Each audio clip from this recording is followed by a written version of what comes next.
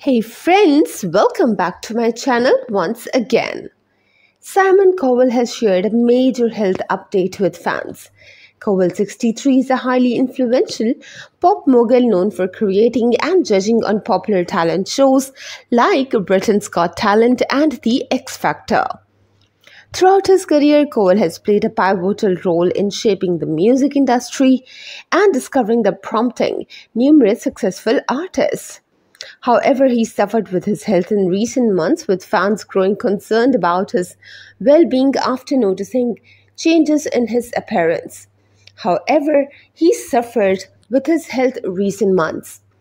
At the Advertising Week Europe event, Cowell shared that he started seeing a therapist a year ago to cope with the stress of his work life.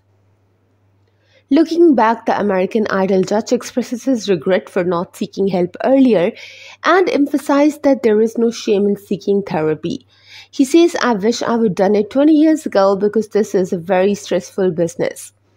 He highlights the importance of having a safe space to talk about his feelings without fear of judgment, referring to therapy as an exercise for the brain, much like exercising the body. Cowell, the mastermind behind several TV talent shows across the world, acknowledges that therapy was once considered more of an American phenomenon, with Brits not fully grasping its benefits. In a light-hearted manner, Cowell goes on to joke about his therapy sessions, quipping that they would make for an excellent reality show, particularly the couple's therapy sessions.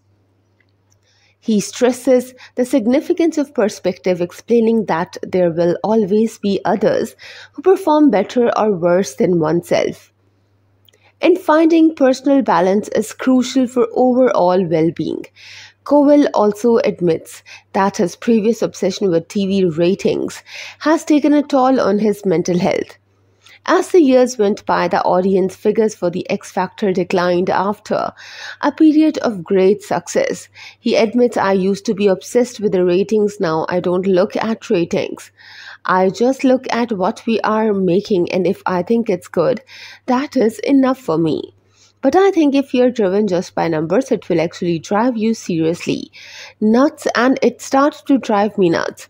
That's all for now. Subscribe for more.